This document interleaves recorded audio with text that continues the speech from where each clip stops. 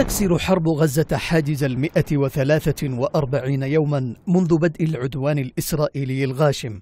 فتتعالى الأصوات والمطالبات الدولية والشعبية بوضع حد للجرائم التي سقط على إثرها نحو ثلاثين ألف شهيد. احتجاجات شبه يومية تشهدها الولايات المتحدة. بلغت اليوم حد إضرام طيار في الجيش الأمريكي النار في نفسه أمام السفارة الإسرائيلية في واشنطن وهو يصرخ بحرقة.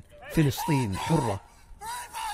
احتجاجات تزامنت مع تطور شهده ملف مفاوضات الهدنة حسب تصريح لمستشار الأمن القومي الأمريكي الذي قال إن هناك اتفاقا على الملامح الأساسية بين الوسطاء وفي انتظار رد حماس التي تبحث مع أمير قطر آخر التطورات.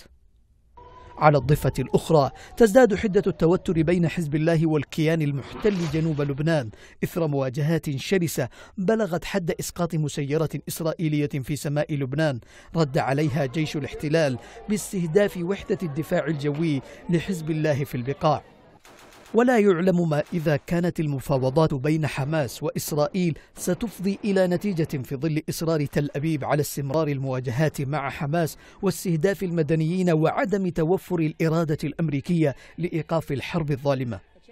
لكن حجم الضغوط التي تتلقاها حكومة الحرب الإسرائيلية على المستويين الداخلي والدولي وارتفاع سقف الاحتجاجات الشعبية الغربية يجبرها على ضمان استمرار المفاوضات وتخفيف حدة التصعيد. كما أن فشل الاستراتيجية الأمريكية في إسكات جبهة البحر الأحمر. أضعف موقف واشنطن دوليا وأدخلها في مأزق تسعى بسببه اليوم إلى تحسين سمعتها عبر دفع إسرائيل إلى خيار التهدئة وإيقاف شلال الدم في صفوف المدنيين.